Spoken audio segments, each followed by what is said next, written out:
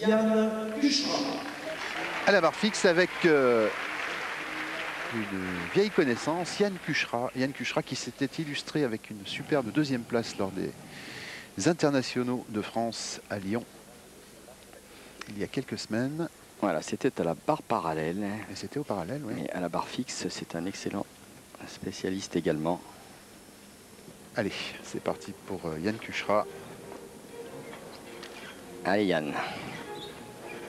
Attention, premier lâcher de barre.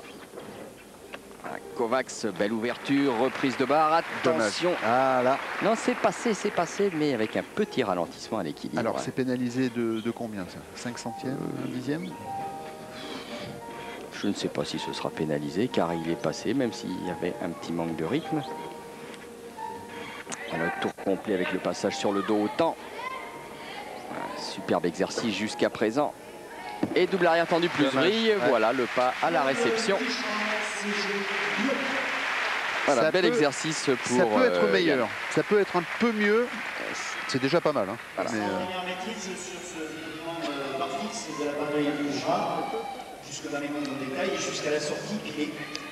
Voyez le Kovacs, salto arrière par-dessus la barre, reprise au temps.